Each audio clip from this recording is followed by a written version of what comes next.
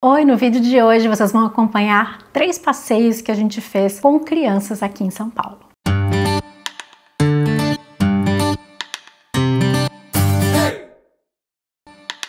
Finalzinho de férias, eu recebi aqui na minha casa a minha irmã, uma prima e a filhinha dela que tem 10 anos. A Bia tem 8, elas são super amigas, brincam muito toda vez que a gente vai a BH. E aí a gente quis trazer ela para cá para ela conhecer a cidade, para a gente fazer juntos alguns dos nossos programas favoritos e outros que a gente ainda não tinha tido a oportunidade de fazer. Logo que elas chegaram, a gente foi fazer o programa favorito da Bibia e talvez o meu também. aqui em São Paulo, que é passear pela liberdade.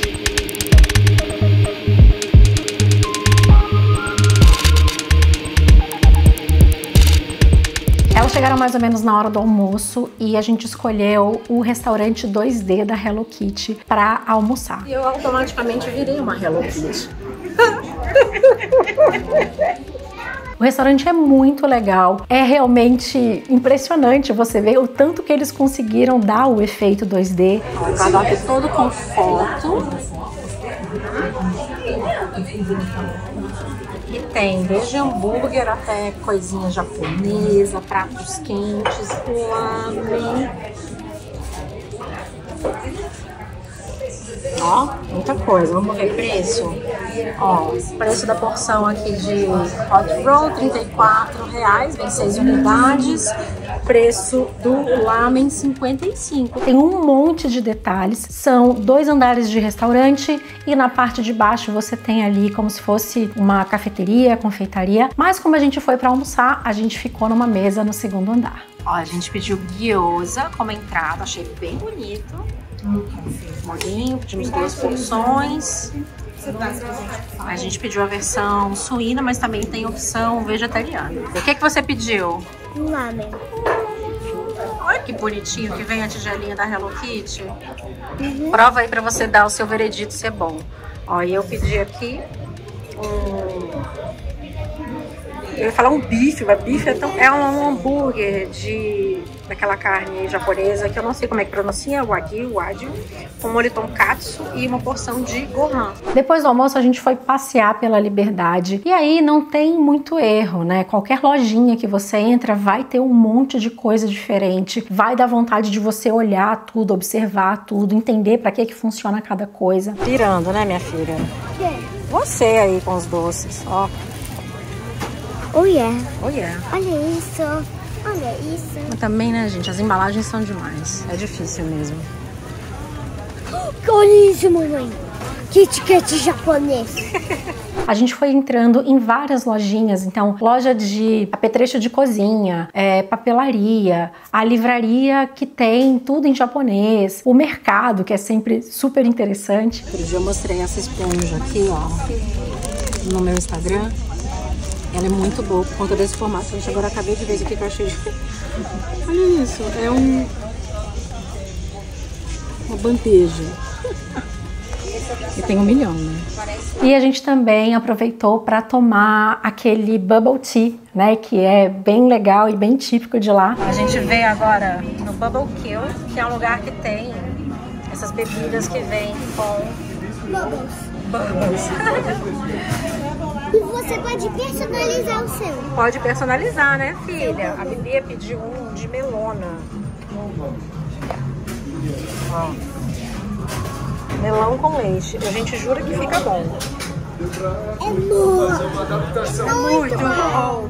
As meninas amaram e a gente ficou passeando ali boa parte do dia. Se você também pretende na Liberdade com crianças, tem outros dois restaurantes que podem ser legais. Um deles é também da Hello Kitty, mas é a versão é, normal. Antes deles abrirem esse 2D, que é maior, eles abriram um pequenininho que fica numa das ruas laterais, que pode ser interessante para quem gosta muito né, da personagem. Esse restaurante serve mais hambúrgueres do que outros tipos de comida. E uma coisa muito bonitinha Aí tem a cara da Hello Kitty no hambúrguer. E um outro lugar que eu adoro ir na Liberdade e eu indico principalmente para quem não é lá muito fã de comida japonesa ou se tem alguém no grupo que não é muito fã de comida japonesa, chama Espaço Kazu. Ele fica basicamente em frente a esse outro restaurante da Hello Kitty. Eu vou colocar o endereço aqui para vocês. E lá a gente tem muita variedade de pratos quentes da culinária japonesa. Então, gente, se a minha mãe gostou, o seu amigo que não gosta de japonês ou você que não é muito fã de japonês também vai gostar Tem várias opções, o cardápio é enorme e a parte né, de sushis e etc. deles também é muito legal. Uma outra opção interessante é você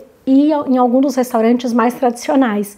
A gente foi uma vez num restaurante em que a gente sentou na mesa do tatame, tem que reservar antes, mas é uma experiência super interessante, super diferente do que a gente está acostumado. A diversão de ir na liberdade com as crianças é que a gente sempre compra algumas coisinhas nas mercearias, nos mercados, e quando chega em casa que a gente vai descobrir o que é, que sabor tem, se a gente gosta ou não, enfim. É um passeio que toda criança que a gente já levou ficou muito entretida e foi muito divertido.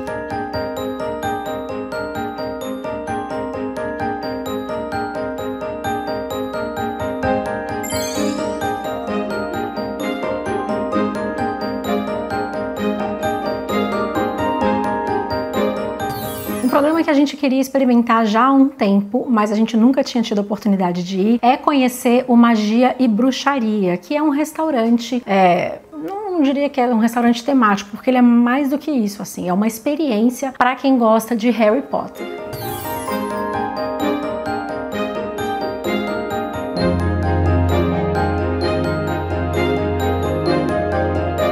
Recomendado que você reserve antes, pode ficar bem cheio.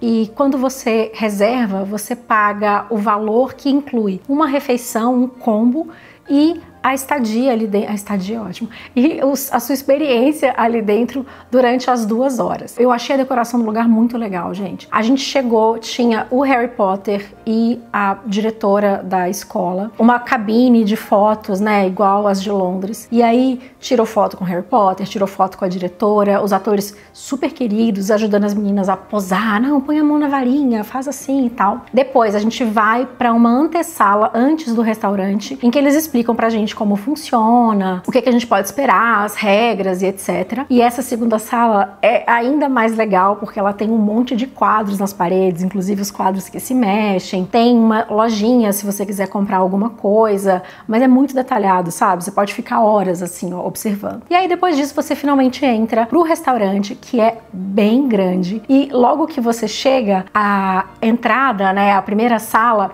é muito semelhante com o refeitório do filme. É muito legal, inclusive cada mesa tem uma cor diferente. E aí eles te levam para um lugar, você não escolhe, porque eles acomodam o seu grupo de acordo com o que é possível lá na hora. E eles recomendam que você já faça o seu pedido do combo. Eles te dão um cardápio e lá tem todas as opções. Uma coisa que eu achei interessante dessa é, opção de restaurante temático é que tem opções que não são hambúrguer. A gente já tinha ido num outro restaurante temático de Harry Potter que chama Vassoura Quebrada e lá é uma hamburgueria. Aqui não, você tem hambúrguer também, mas você tem outros pratos, tem massa, tem um escondidinho, tem cachorro quente, enfim, tem outras coisas além do hambúrguer, o que eu achei muito positivo. É, os pratos já estão todos mais ou menos semi-prontos, são opções rápidas, você faz o pedido num, num lugar assim, num balcão, e aí eles preparam para você na hora, te dão uma bandeja e você leva a sua bandeja até o seu lugar. Se você quiser, você pode comprar algumas, alguns extras. Então, sei lá, ah, eu quero uma batatinha extra. Então, ah, eu quero um hambúrguer extra, você pode comprar. Bia quis essa poção mágica. Vamos ver se ela é gostosa. Gostou? Hum. É mágica e gostosa, muito Bem bom. doce. pra quem é fã de coisas doces, recomendo de laranja, que é o azul, e o copinho verde. Então que tá é da bom. Sancerina. Você é da Sonserina, filha? Claro. Você também pode comprar vários docinhos e lembrancinhas que tem, como se fossem várias lojinhas, assim, vários quiosques que são também super detalhados. E um detalhe que a gente achou muito legal, a Bibi achou sensacional, é que para você comprar alguma coisa lá dentro, você não vai e paga. Você tem que passar no banco e aí você pega as moedas, que são moedas de verdade, assim, pesadinhas, e é como se fosse uma ficha, né? Que daí você vai até onde você quer pegar, então na lojinha de doce ou na lojinha de bebidas, etc. E aí você dá a sua moeda é, que você pegou no banco para você comprar ali o que você quiser. É caro, mas é caro como eu já esperaria de uma atração assim, sabe, voltada para criança, muito específica e tal. E o mais interessante desse lugar para mim, além da decoração que eu realmente achei muito bem feita, é que você tem experiências. O que é uma poção? Fala! Uma mistura de vários ingredientes mágicos que dão numa coisa só. Uma mistura de vários ingredientes mágicos que dão numa coisa só. E sempre tem um efeito. Dois pontos para a senhorita. Parabéns! É muito engraçado porque os atores eles realmente embarcam na coisa, sabe? E daí o professor de poções era o Bravo, né? Imagino eu que parecido com o Snape é, do filme, do livro. Depois uma outra aula de feitiços. Depois você podia pegar a sua carta com a diretora que escrevia seu nome. Enfim, são muitos detalhes. Pensou no seu animal? Sim. Repitam bem forte. Animália. Animália. Que a magia do meu animal. Que a magia do meu animal. Se una a magia do meu coração. Se una a magia do meu coração. Bate a colher três vezes. Coloca no caldeirão. Mexe três vezes para um lado. Parou. Três vezes para o outro. Parou. Segura a colher com a ponta do dedo. Fala bem alto o seu nome, vai! Maria! Agora sua cor predileta, vai! Sua comida favorita, vai! Miojo? Quem falou miojo? Repete comigo, está feito! Está feito! Solta a colher! Então não é só você comer num cenário, você come e depois você pode interagir com os personagens que estavam lá. Eu não sei se é sempre assim, mas no dia que a gente foi, tinham várias aulas acontecendo com os professores, né, da escola lá inspirada em Hogwarts. Mais um Ah, pouco, mete. mais um pouco. Enquanto mexe, pensa no animal que você escolheu, no barulho que o seu animal faz nas cores que você quer que o seu animal tenha. Passou muito rápido. A Bibi ficou alucinada com a experiência e eu achei também muito legal aquele tipo de coisa que assim, nossa, que bom que a gente trouxe, valeu a grana, porque é realmente uma experiência muito legal, muito bem feita. A comida é incrível? Não. Mas gente, a comida é o de menos num lugar desse, tá? Eu, pelo menos eu acho, a experiência conta muito mais. Parabéns pra você nessa data querida. Muitas felicidades, muitos anos de vida. Finite cantando.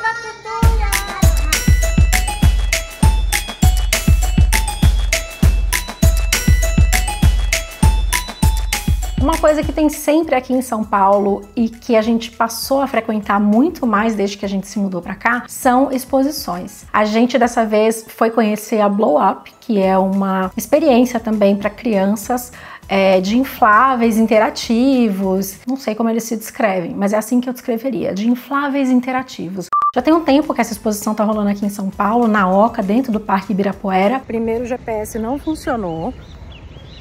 Aí, beleza, eu consegui chegar, fiquei me sentindo super feliz. Uh, conheço São Paulo, consigo chegar sozinha no Ibirapuera da minha casa. Tá. Aí, entrei aqui, não achei vaga perto da Oca. E agora, e aí tive que sair do parque, dar uma volta e entrar. Beleza, entrei, estacionei o carro. É impossível chegar na Oca. Não consigo. E a gente achou legal, porque não só a gente poderia né, visitar a exposição na Oca, como também passear pelo parque, né, que é também uma atração muito legal de São Paulo para crianças. E aí hoje a gente conseguiu comprar. A Bia e a prima já entraram, vou encontrar com a Tutu aqui na porta e entrar. E vai chover daqui a pouco, olha. A exposição deve ser reservada com antecedência, assim como a maioria dessas. Aliás, São Paulo, eu acho que podendo reservar, tendo é, uma noção de quando você vai ou o que, que você quer fazer, reserva, porque a chance de lotar e de não ter disponível na hora é bem grande. Chega no horário, não chega atrasado, porque pode ser que você não consiga entrar mais, e aí é, você aproveita a exposição. A gente já foi na exposição do Tim Burton, que foi muito legal. É muito legal aí nas exposições da Japan House, que tava tendo uma de robôs agora, super interessante. A gente já foi numa de ramen, que eu já mostrei para vocês. Enfim, são vários acontecendo na cidade, e dessa vez a gente foi foi na Blow Up, que é uma exposição um pouco diferente. Ela começa dentro de alguns quartos cômodos é, espelhados. Cada um deles tem um efeito diferente, ótico, eu diria, então com luzes ou com outras superfícies espelhadas. Eu não quero contar muito para vocês também poderem, quem for, né, sentir um pouco, mas essa foi a minha parte favorita. E aí depois que você passa disso, você entra mesmo dentro da oca, aí você já vê a oca certinho, porque esses, esses cômodos eles são fechados, inclusive no teto. E aí você pode escolher qual atração que você vai conhecer. Então, elas são divididas por tema, então tem o jardim do não sei o que, as minhocas, pula-pula, piscina de bolinha, gangorra, enfim, tudo isso com uma iluminação bem especial, meio neon, assim, que dá um clima legal e bastante espaço. Então é uma exposição que eu imagino que se você for num dia que tem muita gente, ainda assim vai ser confortável de estar por ali. No dia que a gente foi, tava tranquilo, vazio até, eu diria. E eu achei até meio, sabe, tipo, nossa, tá, não precisava estar ocupando três andares. Mas o importante é que as crianças adoraram. Eu, como mãe, esperava um pouquinho mais. Mas as meninas amaram, pularam no pula-pula, mergulharam nas minhocas. A Bia ficou alucinada com uma flor que tinha lá, que tinha um olho. Mamãe, olha isso, que legal, nossa. Nossa, gente, essa daqui é a mais bonita. Não é a mais bonita? Doze espelhos.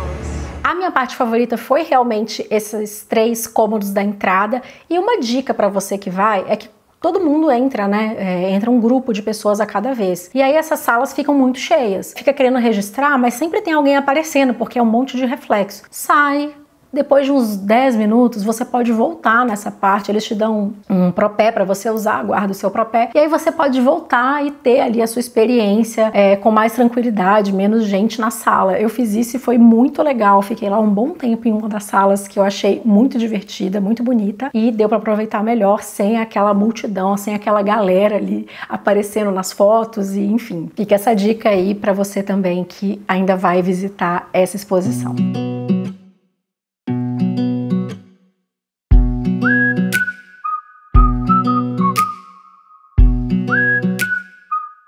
Foram três dos programas que a gente fez com as crianças aqui em São Paulo. Se você conhece algum programa em São Paulo que é imperdível para crianças, comenta aqui embaixo para eu levar a Bibia e para ajudar quem está assistindo esse vídeo a se programar para aproveitar a cidade. Se você gostou desse vídeo, deixa o seu like e compartilhe com os amigos. Um beijo e até a próxima!